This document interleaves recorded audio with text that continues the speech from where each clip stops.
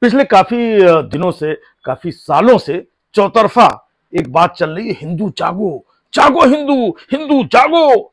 कितने बड़े बड़े बाबा, साध्वी, ये दल के प्रमुख है मोहल्ले के, इसके, उसके है छुटभैया नेता, चंदन टीका लगा करके कभी न्यूज़ में, कभी मीडिया में, कभी जंतर मंतर में कहाँ कहाँ नहीं चिल्ला रहे हैं। जागो, हिंदू जागो। लेकिन भाई साहब देखिए इतने साल हो गए, अभी भी ये लोग चिल्ला रहे हैं और इनकी बात कोई सुनने वाला नहीं है। ये चूरन टाइप के लोग हैं, ये बेवकूफ़ लोग हैं जो चिल्ला रहे हैं, जगा रहे हैं। लेकिन देखो भाई साहब, इतने साल हो गए, हैं, और ये जागने का नाम ही नहीं ले रहे। कल भी देखो जंतर मंतर में कितने लोग चंदन टीका लगा करके वहाँ पर पहुँचे और क्या क्या वहाँ पे बोला, जगाने की कोशिश की।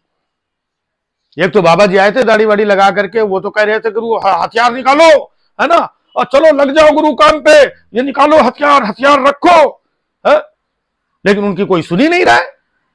इससे पहले एक साध्वी ने कहा था कि चक्कू, छुरी, है, ये सब तेज कराओ तेज कराओ, कोई सुनी नहीं रहा है। मतलब ये चूरन टाइप के लोग हैं। इतने दिन से कह रहे हैं, हथियार खरीदो और ये करो और आ जाओ और जागो और कोई भाई साहब जाग ही नहीं रहा है, बताइए। पिक्चर आई थी पठान हाँ? कौन कौन सी साध्वी और ये बाबा ये दल और ये नुक्कड़, वो गली चिल्लाते रहे, भाई साहब, बायकॉट बायकॉट करो, नहीं देखनी है, हटाओ, हिंदुओं, ये वो सब करते रहे। लेकिन भाई साहब माने नहीं हिंदू लोग, लाखों लोग जाकर के वो पठान देखा है ये लोग गला फाड़ फाड़ के चिल्ला रहे, बेवकूफ़ है ये लोग, इनकी बातें नहीं सुनना है कोई। हम्म? जागो जागो, ये करो, चक्कू, छुरी और पता नहीं क्या क्या, है? भाई, ये बड़े बुज़ुर्ग चीज़ें, ये सब ठेकेदार लोग हैं, है? इनकी बात पे कोई ध्यान ही नहीं दे रहा है, बताइए। खामखा चिल्लाए पड़े हुए? फिर जब नहीं समझ में आता, कोई नहीं जागता है तो फिर कुछ लोग आते चलो अब हिंदू राष्ट्र बनाओ। उनको लगेगा मतलब जो भी है ना, उनको लगता है कि एक बार नहीं जाग रहे हैं, कोई बात नहीं, हिंदू राष्ट्र बन जाएगा तो फिर ये लोग सोते भी रहेंगे ना। तो मतलब चलेगा, चलो भाई, सो रहा है, कोई दिक्कत नहीं है। हिंदू राष्ट्र तो बन गया तो मजबूरी में इन लोगों को ये हिंदू राष्ट्र वगैरह सब ये करना पड़ रहा है। अगर तुम लोग, हैं, सब इनकी बात सुन लो, जो सालों से बोल रहे हैं, जागो और ये करो और खरीदो, धार तेज करो, इनकी बातें नहीं सुन रहे हो। ये बेचारों को मजबूरी में करना पड़ रहा है। लेकिन एक बात हमको ये नहीं समझ में आती है कि हो सकता है ये लोग इतने साल से बोल रहे हैं, जागो जागो जागो तो हो सकता है कि हिंदू जाग भी जाता हो और जाग के सुबह सुबह जाके कहीं पूजा पाठ करने लगता हो, है? सुबह सुबह अपने काम पे चला जाता हो, कहीं पढ़ाई लिखाई करने चला जाता हो, है? अपने दूसरे कामों में लग जाता हो भरण पोषण के लिए, जुगाड़ के लिए कहीं लग जाता हो, है? और इन लोगों को पता ही नहीं चलता हो कि हिंदू जाग गया है। क्योंकि जब तक इनके झांसे वाले जो चक्कर है ना, चक्रव्यूह, उसमें ना फंसो, तब तक ये मानेंगे नहीं कि हिंदू जाग गया है या हिंदू भी है कल को आप ऐसी वैसी बात कर दो आप भले बहुत बड़े पुजारी हो पूजा करते हो धर्म दान चीज़ें है ना और सब ग्रंथ सब एकदम आनंदित रहते हो चंदन टीका भी लगाते हो लेकिन इनकी बात पे अगर तुम लोग नहीं मानोगे तो ये भाई साहब ये आपको भी कहेंगे हाँ कहते ही है, है? ये फर्जी ये है ये तो उनका ये है इनका ये है, है? ये हिंदू कहलाने लायक नहीं है ये तो जयचंद है ये भाई साहब होता है। तो जब तक इनके वो जो माहौल है ना, इनके हिसाब वाला ना बने। और खैर, बने ना बने, लोग जागरूक हैं। ये लोग अपना देखो, चिल्ला रहे हैं, सालों से चिल्ला रहे हैं।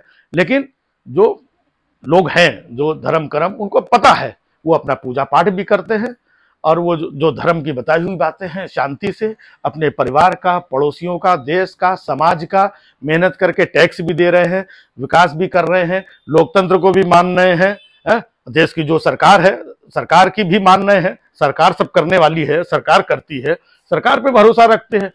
अब ये चिंटू टिंकू गुड्डू बबलू ये बाबा जी वो बाबा जी है? ये तुम जागो तुम हथियार तेज कराओ और तुम चक्कू छुरी ये वो है?